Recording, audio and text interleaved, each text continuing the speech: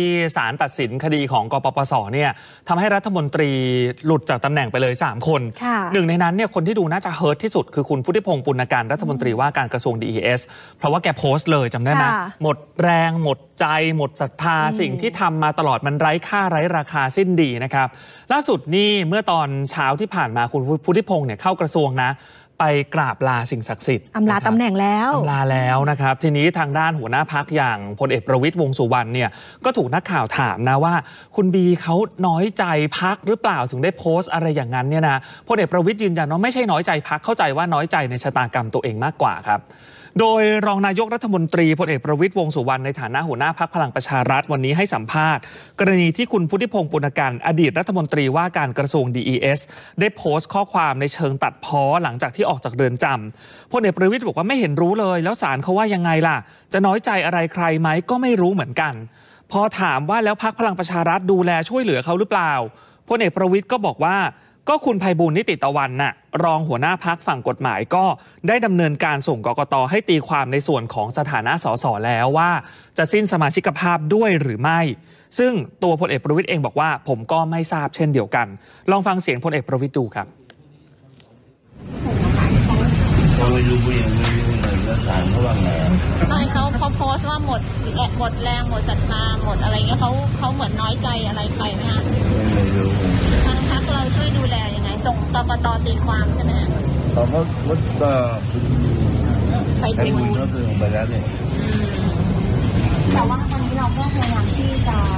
พิสูจน์ทราบให้ได้ว่าเขาพ้นจากสสแล้วหรือยังก็ไม่รู้ว่าจะโดนผ่านผ่านดูแต่ว่าเหมือนทางก็ต้องดูแต่เหมือนที่เขาโพสต์เหมือนเขาน้อยใจอะไรบางอย่างไม่มีน้อยใจหรอกก็น้อยใจชะตาของตัวเอง นะนี่นักข่าวถามเพิ่มด้วยนะครับ ว่านี่แล้วถ้าวัคซีนของแอสตราเซเนกาฉีดได้แล้วเมื่อไหร่พลเอกประวิตยจะฉีดไหมอย่างนายกเนี่ยบอกว่าหมอให้ฉีดเมื่อไหร่ฉีดเลยค่ะพลเอกประวิตยบอกว่า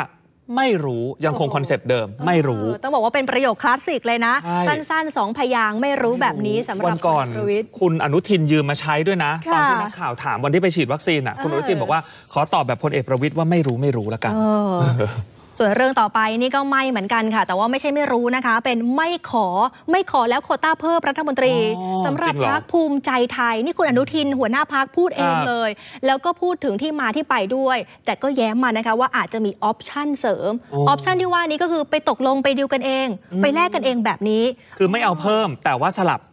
สลับเก้าอี้อย่างนี้เหรอ นี่คือโปรยมาแบบนี้แต่แม่ว่าไม่รู้เนี่ยสูตรมันจะเป็นอย่างไรครับเพราะว่าวันนี้ผู้สื่อข่าวไปสอบถามคุณอนุทิน เมื่อวานนี้คุณอนุทินบอกแล้วว่า ที่มีทุกวันนี้ก็บุญตายโหงแล้วใช่คำนี้เลยพูดบุญแบตายบโหงนี้เลย วันนี้ผู้สื่อข่าวก็เลยไปถามเพิ่มเติมว่าอย่างไร เพราะเมื่อวานนี้มีรายงานข่าวมานะคะ ว่าถึงขั้นปิดห้องประชุมกันเลย ทั้งภูมิใจไทยทั้งประชาธิปัตย์ครับคือคุณอนุทินก็บอกว่าคุยกันจริง แล้วก็คุยเข้าใจกันแล้ว พักใครก็พักมันขอให้ไปดูแลกันให้ดีก็แล้วกัน ผู้สื่อข่าวก็เลยถามต่อแล้วเรื่องสลับเก้าอี้ล่ะ ยังไง บอกเพิ่มเติมได้ไหม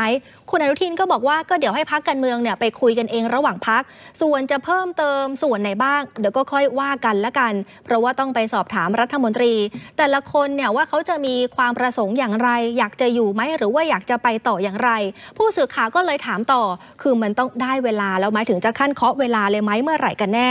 คุณอนุทินก็บอกว่าเดี๋ยวให้นายกเนี่ยเป็นคนชี้แจงเป็นคนแจ้งมาก็แล้วกัน เพราะว่าเรื่องของการปรับคณะรัฐมนตรีเนี่ยคืือต้องไปดูเรื่องของเวลาด้วย ดูเรื่องของประวัติด้วย ดูเรื่องของคุณสมบัติด้วย และอำนาจทั้งหมดทั้งมวลเนี่ยขึ้นอยู่กับท่านนายกเพียงผู้เดียวค่ะคุยกันแล้ว คนปรับครมมีมีมีได้อยู่ท่านเดียว คือท่านนายกใช่ไหมเราก็เป็นผู้เสนอ เสนอไปก็ไม่ใช่ว่าท่านจะต้องรับร้อยเปอร์เซ็นก็ต้องมีการหารือกัน ในส่วนของผมเนี่ยทั้งเจ็ดคนทำงานหนักมากนะครับ ก็ ก็ยังพอใจในในผลงานของเขาอยู่แต่ว่าตรงไหนที่มันเอาให้เร็วกว่านี้ได้ก็ก็ต้องบอกกันว่านี่มันครึ่งหลังแล้วนะ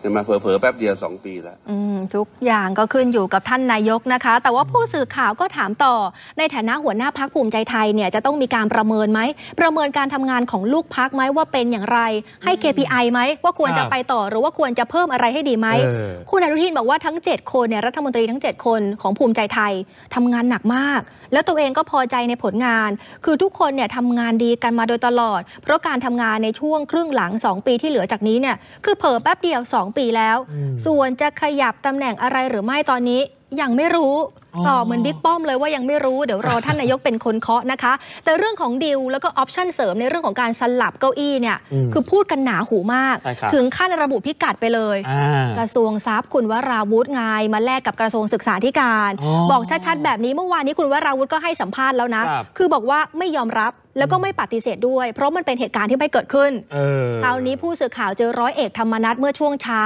ครับวิ่งไปถามเลย ต้องใช้คำว่าวิ่งคุณผู้ชมดูภาพบรรยากาศ คือร้อยเอกธรรมนัฐก็วิ่ง ผู้สื่อข่าวก็วิ่งนี่มีกระโดดนักข่าวมาเลยโอ้ผู้สื่อข่าวก็พยายามที่จะพูดไปถามไประหว่างวิ่งเนี่ยแหละค่ะ ถามว่าเนี่ยเขามีดิวในการสลับเก้าอี้นะ เป็นอะไรยังไง